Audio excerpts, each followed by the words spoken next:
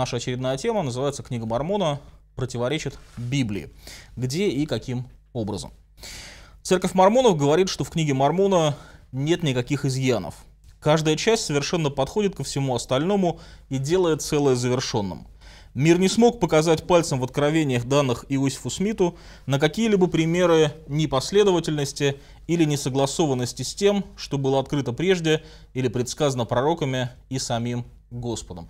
На самом деле очень смелое заявление, потому что на протяжении всего э, всей истории существования мормонизма христиане только и делают, что показывают, например, несогласованности между писаниями мормонских пророков, в частности книгой Мормона, и а, нашей с вами христианской Библии. Вот только несколько таких наиболее ярких противоречий, буквальных противоречий между книгой Мормона и Библией.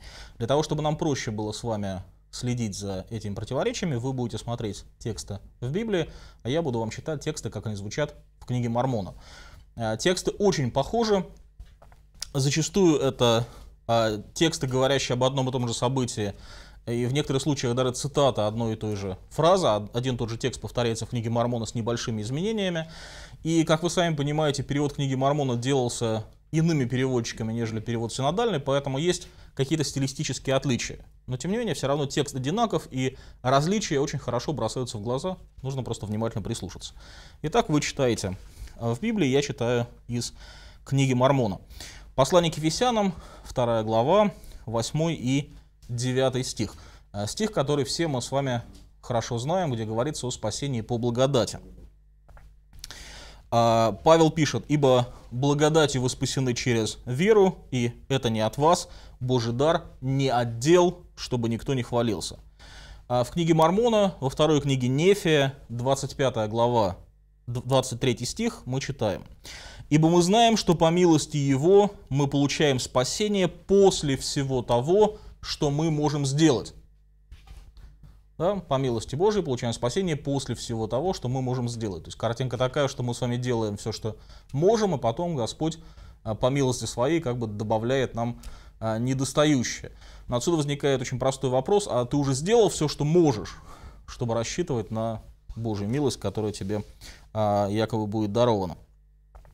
Еще одно замечательное место – я знаю историю, по крайней мере, одного человека, который, прочитав этот текст книги Мормона и увидев это расхождение, ушел из мормонской церкви. Это был достаточно известный человек, который занимался серьезными исследованиями внутри этой церкви, который писал очень серьезные документы э, для нее, но когда он увидел, что это расхождение присутствует, он не смог там больше оставаться.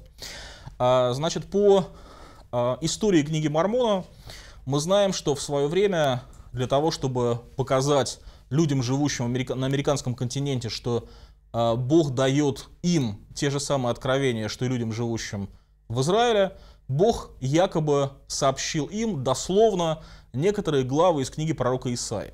И поэтому в, во второй книге Нефия мы находим буквально несколько глав из книги пророка Исаи, переписанных дословно, прекрасным языком Библии короля Якова. Но мы с вами уже говорили о том, что Смит э, брал текст короля Якова и просто копировал его э, в текст книги Мормона.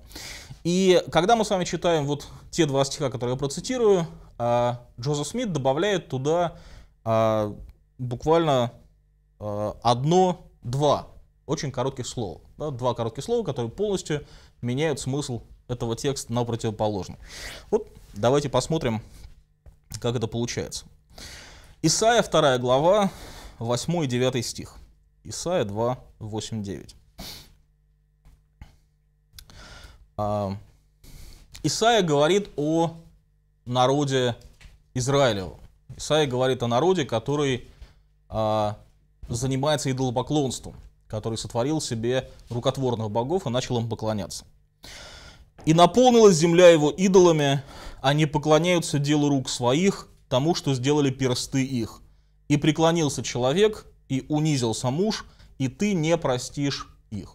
Все очень просто и понятно. Наполнилась земля идолами, человек смирился и поклонился этим идолам, и за это ты, Господь, его не простишь, за то, что он идолопоклонник. А Джозеф Смит, или точнее его последователи, потому что это изменение, скорее всего, появилось в книге Мормона гораздо позже, уже после смерти самого Смита, а, придают тексту такой интересный смысл. «И наполнилась земля их идолами. Они поклоняются делу рук своих, тому, что сделали персты их.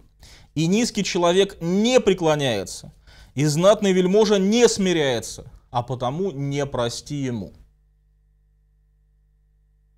Да?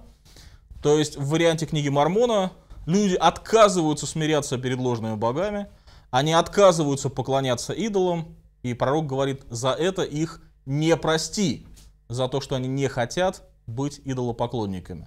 То есть текст приобретает совершенно абсурдное, анекдотическое, абсолютно не библейское звучание, фактически являясь призывом к идолопоклонству. Да? А пророк призывает Бога покарать людей за то, что те отказываются быть идолопоклонниками. А, этот текст находится во второй книге Нефия, 12 глава, 8 и 9 стих. А, очевидно, да, то, что мы с вами сейчас почитали. Следующий текст Евангелия от Луки, 23 глава, 44 стих. Луки 23, 44. Лука пишет о событиях, которые были связаны со смертью Христа. Помните, когда Господь испустил дух, на земле наступила темнота. И Лука пишет о том, сколько эта темнота продолжалась. И говорит очень конкретно. «Было же около шестого часа дня, и сделалась тьма по всей земле до часа девятого». Да? Три часа эта тьма продолжалась.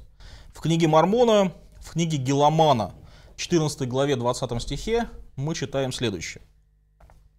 Пророчество о том, как это якобы должно произойти.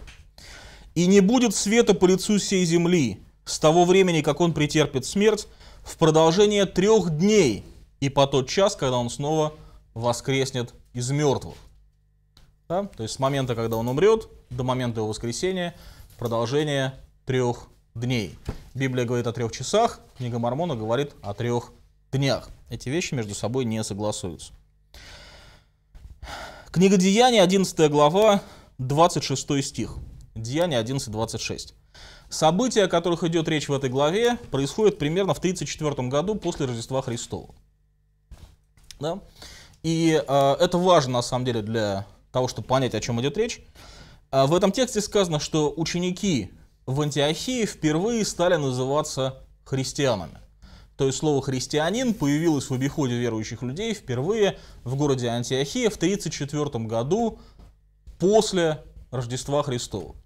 И мы с вами переносимся в книгу Мормона и читаем книгу Алмы, 46 главу, 15 стих, которая по официальной хронологии книги Мормона была написана за 73 года до Рождества Христова, то есть за 111 лет до событий, которые описывает Лука в книге Деяний. И в книге Мормона мы читаем следующее. Да, все истинно верующие во Христа с радостью взяли на себя имя Христа или христиан – как они назывались? Потому что веровали в грядущего Христа. Библия говорит впервые, это случилось в 34 году после Рождества Христова. Книга Мормона говорит в 74 году до, 73 году до Рождества Христова. Евангелие от Матфея, 2 глава, 1 стих. Пророчество о... Э, не пророчество, а э, евангельское повествование о рождении Христа. Евангелие от Матфея, э, мы читаем здесь, «Когда же Иисус родился в Вифлееме Иудейском, в дни царя Ирода» и так далее. Иисус родился в Вифлееме. Казалось бы, общеизвестный факт, который знает практически любой ребенок в воскресной школе, если он регулярно туда ходит. А в книге Мормона, книга Алмы, 7 глава, 10 стих, мы читаем нечто совершенно другое. И вот он родится от Марии в Иерусалиме, в земле наших праотцов. Да? А, мормоны понимают, что на самом деле здесь есть некая проблема в этом стихе, и на протяжении долгого времени они объясняли, что под Иерусалимом имеется в виду вся земля израильская, включая Вифлеем. А, но на самом деле, как показали уже с тех пор некоторые исследователи, а, в те времена, когда а, писалась Библия, когда должно было писаться, а, должна была писаться книга Алмы по той хронологии, которую мормоны дают. Такого использования имени Иерусалим не встречается ни разу в документах. То есть никто никогда не говорил об Иерусалиме как о неком собирательном названии для всей территории Израиля. То есть в данном случае имеет место просто ошибка. Видимо, Джозеф Смит а, по неграмотности просто перепутал эти два города. Понравилась лекция? Вдохновились услышанным? Поддержите нас молитвой и финансами. О чем молиться и как пожертвовать, вы можете узнать на сайте www.tvseminary.com.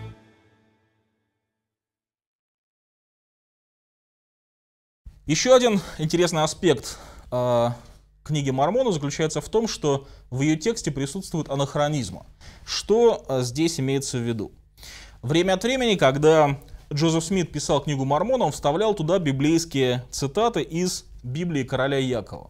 Однако в силу того, что он человек был, опять же, не очень грамотный и не очень внимательно следил за тем, когда происходили в Библии те или иные события, оказалось, что некоторые цитаты, которые он использует, они употребляются в книге Мормона за много лет до того, как они были произнесены в Новом Завете. Понимаете, да, что я имею в виду? То есть человек в Новом Завете говорит это, допустим, через сто лет после Рождества Христова, ну, через сто лет я немножко перегнул, конечно, ну, допустим, через там, 30 лет. А в книге Мормона это используется до Рождества Христова, когда эти слова еще не были произнесены. Причем речь идет не просто о некоем пересказе, о каком-то пророчестве, которое совпадает по звучанию. Речь идет о точных цитатах из Библии короля Якова, которые совпадают буквально до запятой. То есть это конкретные цитаты конкретного человека, которые были произнесены и записаны в Писании. Вот несколько примеров. Евангелие от Матфея, 3 глава, 10 стих. Фраза, которая была произнесена примерно в 29 году нашей эры. Господь говорит, уже и секира при корне дерев лежит, всякое дерево, не приносящее доброе, доброго плода, срубают и бросают в огонь. Книга Мормона, книга Алмы, 5 глава, 52 стих. Примерно 83 год до Рождества Христова, то есть за 112 лет до момента, когда Господь это говорит. Вот секира приготовлена у корня дерева, и каждое дерево, которое не приносит добрых плодов, будет срублено и ввергнуто в огонь. В русском тексте слова звучат немножко по-разному, английский текст совершенно поразительно одинаков в обоих случаях. Английский текст книги Мормона и английский текст Библии короля Якова.